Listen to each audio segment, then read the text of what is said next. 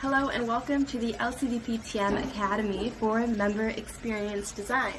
So this member experience is basically everything that a member goes through when they join AIESEC and a way for us to realize what are these four milestones of a member's experience in AIESEC. And that goes from recruiting when they join AIESEC to onboarding to experiencing to advancing. So recruitment, their first experience with AIESEC when they first hear about it, to onboarding, getting into the role, to experiencing, which is actually living the AIESEC experience as a member doing the work, experiencing the ups and downs,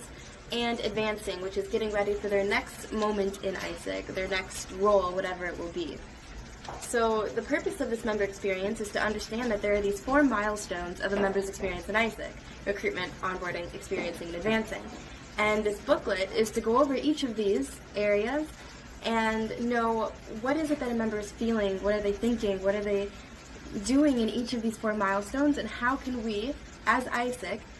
give the best experience possible to these members in each of these four milestones of their role in AIESEC as a member. Now, you can use this booklet to better um, plan how you're going to deliver these moments, these team standards to your members and make sure that they live a full AIESEC experience and are ready to advance to the next position, to be a TL, to be an NST, to be a VP, to be an LCP, whatever, or continue as a member, whatever their next role is, and get them to be super engaged and perform and achieve their goals. So as VPTM, I hope you find a lot of joy in this member experience and think of it in your own entity's context, in your own LC's context, and how can you elevate your member experience in your own entity. So enjoy the academy, and um,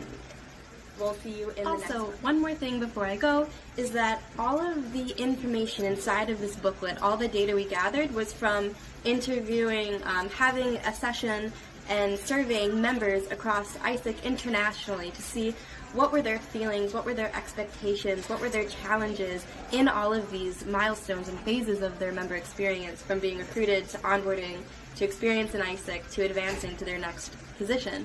So we did this by talking to members and hearing what they have to say about their experiences in this. So I also challenge you to check out the members in your own entity, in your LCs, um, to get their inputs on their feelings, their challenges, their expectations in each of these phases, and adapt the booklet to your own reality as well if it doesn't quite match. So definitely do some research on your end as well, and